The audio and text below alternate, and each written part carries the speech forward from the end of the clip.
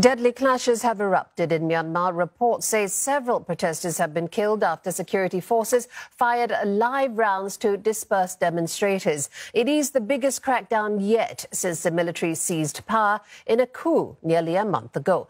Leong Waikit joining us live now. Uh, Waikit, you've been tracking the often bloody crackdowns all across the country today.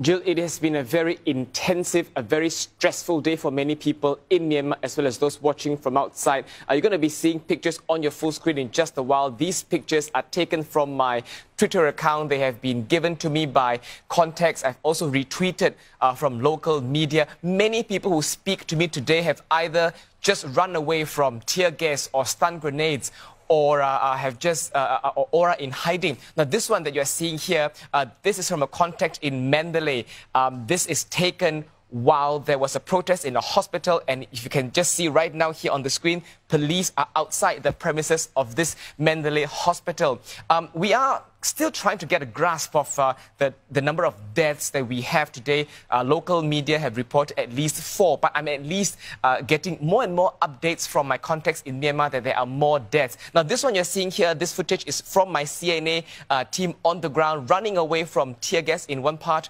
of, uh, of, of Yangon. So you can get a sense of just how uh, challenging it is. Uh, and, and, like you said, Jill, it is a very deadly day today. Uh, you also mentioned this is one month into the uh, coup. It is also a day before our leader Aung San Suu Kyi is expected to uh, appear in court to face her two charges.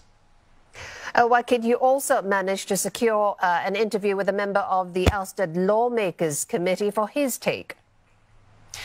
Yeah, that's right. This is Dr. Sasa, who is uh, uh, the UN representative. He's appointed by the committee representing Pyidaungsu Hluttaw. Pyidaungsu Hluttaw is a union government in Burmese. Uh, we spoke on a range of topics. Uh, he told me that uh, the CRPH is going to form an interim government in the coming days. Uh, we also talked about today's deadly violence. He said it's unacceptable. Um, but I also told him that there are many protesters who seem to not back down in the face of deadly uh, danger and violence. And I asked him what his direct message to protesters is. Let's take a listen. It's better to die than to live under military oppressive regime.